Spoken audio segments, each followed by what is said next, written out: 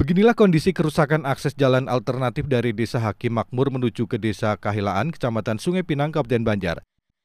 Jalan sepanjang 1,5 km ini kerap dimanfaatkan masyarakat karena aksesnya lebih dekat. Berdasarkan keterangan, jalan selebar 4 meter itu sudah digunakan oleh masyarakat ke semua desa maupun masyarakat lain menuju ke Desa Kahilaan selama belasan tahun, baik menggunakan sepeda motor maupun kendaraan roda 4. Namun demikian selama belasan tahun jalan masih tanah murni itu tidak tersentuh pembangunan, sehingga lambat laun kerusakan semakin parah terutama sepanjang 400 meter dari jalur jalan utama desa. Dikonfirmasi mengenai akses jalan rusak itu, Kabit Bina Marga Dinas PUPR Banjar, Jimmy, membenarkan kondisi jalan rusak sepanjang 400 meter di jalur alternatif Desa Hakim Makmur ke Desa Kahilaan dan sudah melakukan pemeriksaan lapangan. Jadi dari hasil informasi masyarakat, kami ada melaksanakan uh, survei lah ya.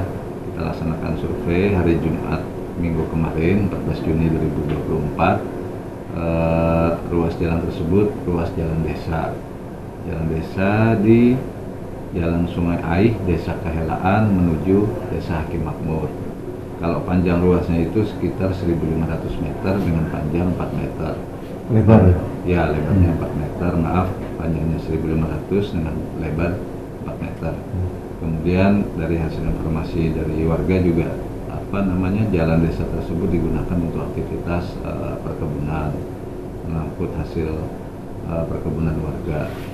Kemudian dari hasil survei juga dari luas 1.500 meter tersebut kurang lebih 300 sampai 400 meter kondisinya cukup ini cukup memprihatinkan lah ya.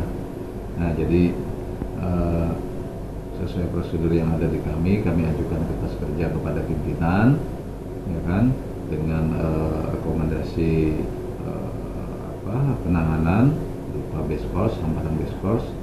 Uh, kita lihat nanti arahan pimpinan seperti apa. Harapan kami itu bisa kita lakukan penanganan.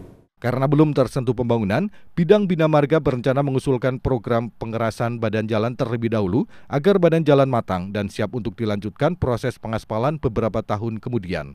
Taridas Tompul, Duta TV Martapura.